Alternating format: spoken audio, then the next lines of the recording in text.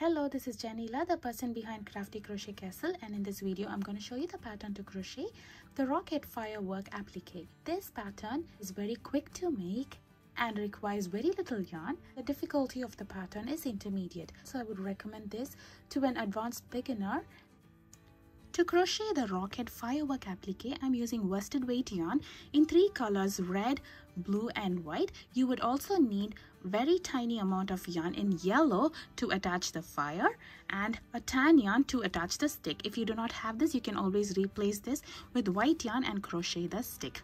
To embroider the stars, you would need white thread and needle. You can use white yarn instead of this as well you will also need a 3.75 mm crochet hook scissors and yarn needle the details of these materials are in the description box below now let us crochet the body of our firecracker this is for the blue body so i'm taking my blue yarn here. I'll start off with a slip knot. To do a slip knot i'm going to wrap the yarn around my two fingers like this and cross it over at the point where both the yarn meets. Next i'm going to pinch here. Carefully take my fingers out. Insert my hook through this loop. Yarn over and bring a loop. And i'm going to tighten this up that is I just pull the tail to tighten this up and there we have formed our slip knot. There are other different ways to do a slip knot as well. You can do any method you prefer. Now i will do chain 9 here. To do a chain i'm going to yarn over and pull through the loop on the hook. So this is our first chain. I'm going to do eight more chains here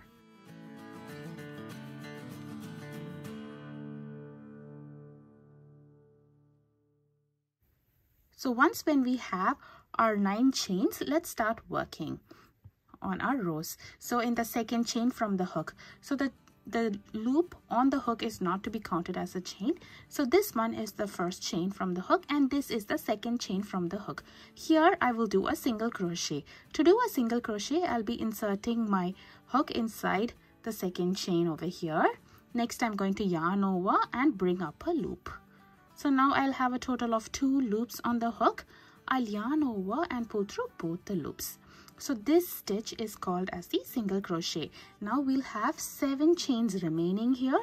I will do one single crochet in each of the seven chains. Row 1 will have a total of 8 single crochet.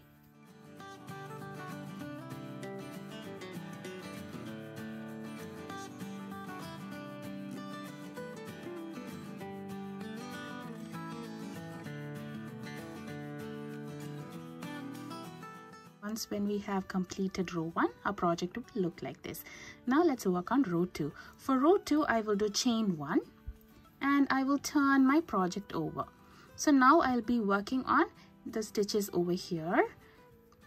So in my very first stitch I will do one single crochet and I will do a single crochet across in the next 7 stitches. This row will also have a total of 8 single crochet. The starting chain 1 is not to be counted as a stitch here.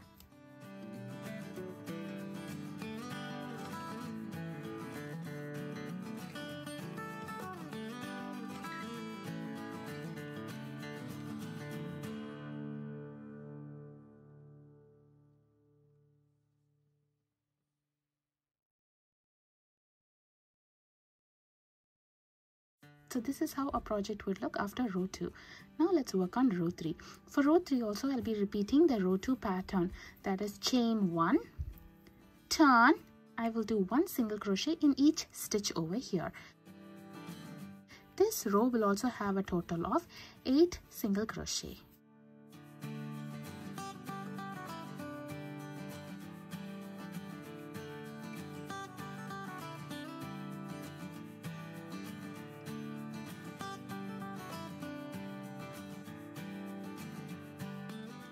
So once when we've completed three rows, we can leave a long tail and finish it off over here. To finish it off, I'm going to trim the tail. Next, I'm going to yarn over and pull through the loop on the hook all the way through and tighten this up. So this is the body of our firecracker in blue. Now let us crochet the body for the firecracker. This time I'll be using two colors. I'll be following the same pattern as that of the body of the blue firecracker but we'll be changing colors. So I'll show you how to change colors here. So first I'm going to take my red yarn. I'll do a slip knot followed by chain 9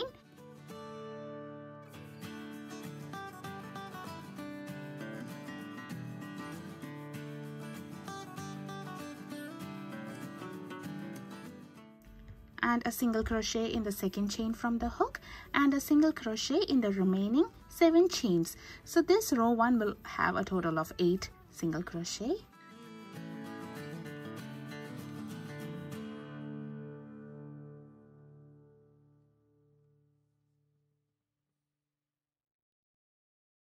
now i'm at the last single crochet over here it is here where i would change my color to white so let me show you how to do it so i would start the single crochet like how i would normally do i'll be inserting my hook in the chain yarn over and bring up a loop I'll have two loops on my hook. Instead of yarning over and finishing it with this color, I'll be grabbing my new color yarn. Here it is white. I will leave a tail. Hold the yarn here I'll yarn over and pull through. So I'll be finishing the single crochet stitch with a new color yarn. So this is how I would change my colors over here. So now let's start working on row 2. I will do chain 1, turn my work over and I will do one single crochet in each stitch across. This row will also have a total of 8 single crochet.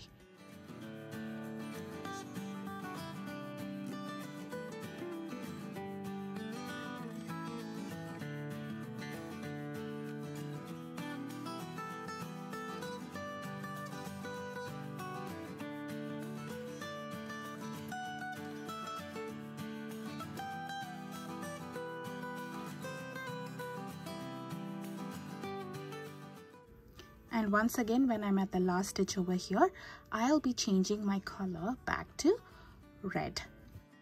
So I'll be taking my red yarn leave a tail hold it here. Next I'm going to yarn over and complete this single crochet stitch. So once when you've done that you can leave a trail and trim off your white yarn. Now you can work your row 3 stitch like you would normally do. That is chain 1 turn followed by one single crochet in every stitch.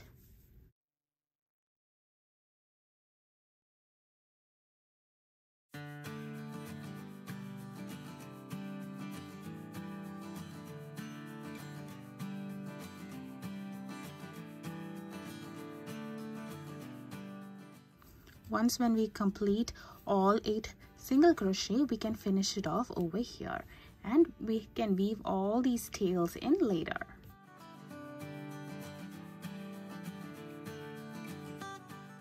So this is the body for our red and white firecracker. So here is the body for our firecracker. Now let us crochet the fuse. So let me show you how to crochet the fuse. So first I'm taking my blue body here. In the second row, I'll be attaching the red yarn.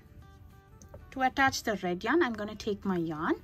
I'm going to insert my hook inside the corner stitch of row 2 you can attach it in either side, any side that you prefer. I'm going to leave a tail, hold my yarn over here.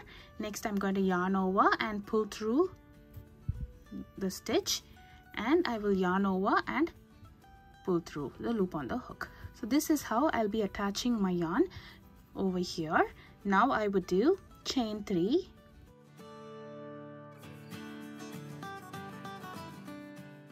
and I'll finish it off over here. We have to weave the tail in later as well.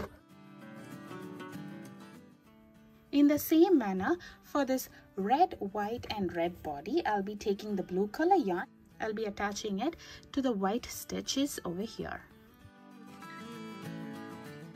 Next, I will do chain 3 and finish it off over here.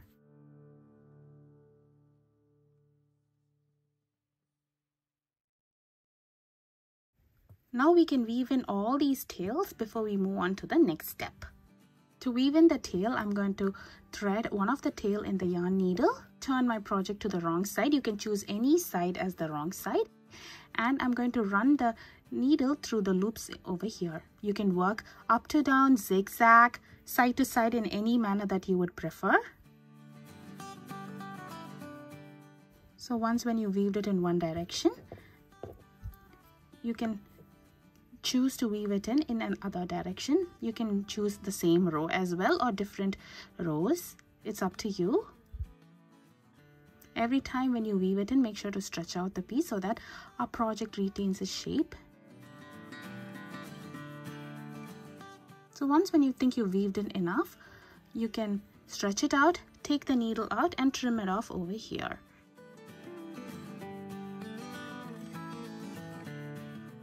So make sure to weave in all the other tails, even the tails for the fuse.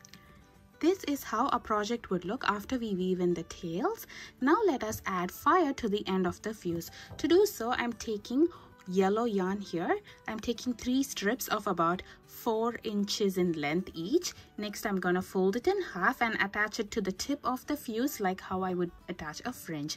To do so, I'm gonna fold it in half, insert my hook in the top stitch over here next I'm going to grab all the folded loops and pull through here. So once when I have the loops over here I'm going to grab all the tails. I'm going to yarn over and pull through all the tails through the three loops over here. You can choose to attach a fringe one by one or you can attach it like how I did. Once when you have all the strands over here make sure to pull tight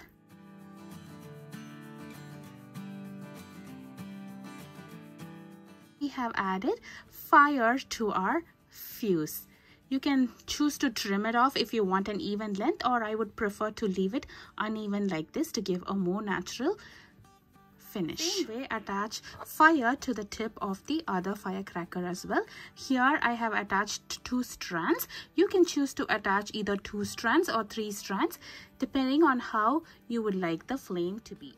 For finishing off this firecracker, you can either choose to leave this firecracker as such or you could embroider white stars in them. To embroider white stars, you can either use white yarn and embroider them or you can use a white thread and needle and embroider the stars.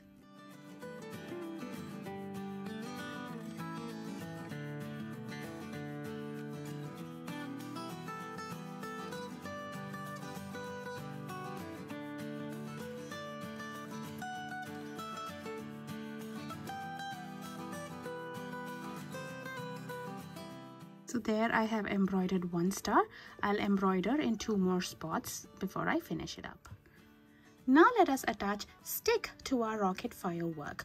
To attach stick you can either use tan yarn or white yarn depending on what you have in hand and attach the yarn to one end of the bottom of our firework like this.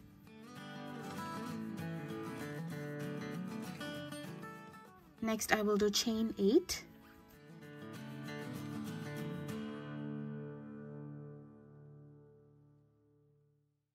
finish it off.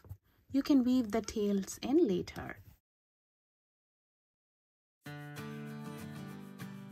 Now let us crochet the head for our rocket firework. For the red and white body, I'm using a blue yarn and for the blue body, I'm using a red yarn for the head of the rocket.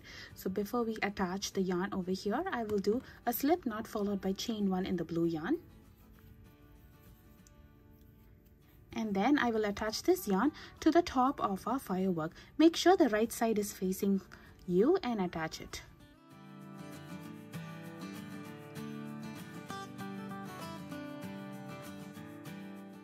So now I will do three slip stitch across the top of our body over here.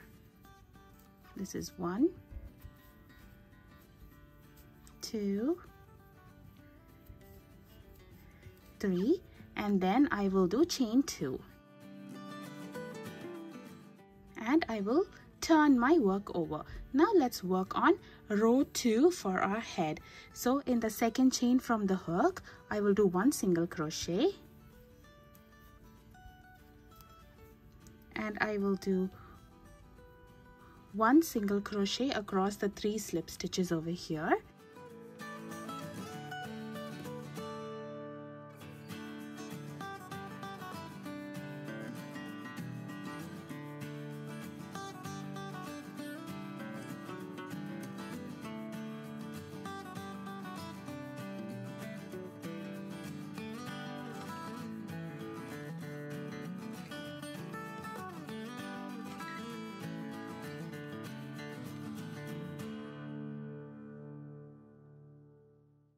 and I will do one single crochet in the chain one that we did at the beginning of our row one. So this is the wrong side of the project and this is the right side of our project. So now in row 2 we would have done a total of 5 single crochet. 1 on this chain, 3 on the slip stitch and 1 on this chain. Now let's work on row 3. For row 3 I will do chain 1. I will turn my work over. This chain 1 does not count as a stitch. Now I will skip the same stitch and the next stitch and I will do a single crochet in the next stitch. And in the next two stitches, I will be doing a single crochet two together or single crochet decrease. To do a single crochet decrease, I'm going to insert my hook inside the next stitch, yarn over and bring up a loop. Instead of finishing this stitch, I'm going to insert my hook inside the next stitch, yarn over and bring up a loop. So now I have a total of three loops on the hook we have worked across two loops on the bottom. I'll yarn over and pull through all three loops at once. So this stitch is called as the single crochet together. So row 3 will have a total of two stitches, the single crochet and the single crochet two together. So now for the last row over here for row 4, I will do chain 1, turn my work over. I will skip the same stitch over here and we have two stitches here. I will do a single crochet two together.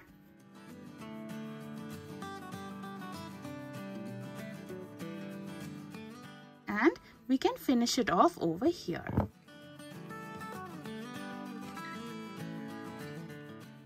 Now we can weave these two tails in. In the same manner crochet with red color yarn for the other firecracker. This is how a crochet rocket firework applique would look after weaving in all the ends. You can steam, iron or block this project if you would prefer that. I hope you enjoy crocheting this along with me. Please show your support by subscribing to my channel. Thank you for watching.